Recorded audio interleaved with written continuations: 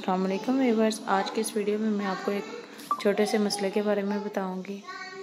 अगर आपकी मशीन बार बार धागा तोड़ रही है, आप अच्छे वाला धागा इस्तेमाल कर रहे हैं, आपकी मशीन बिल्कुल ठीक है, लेकिन फिर भी ये धागा तोड़ रही है, आपके हिसाब से इसमें कोई भी मसला या नुक्स नहीं है तो आपने एक छोटा सा काम करना है।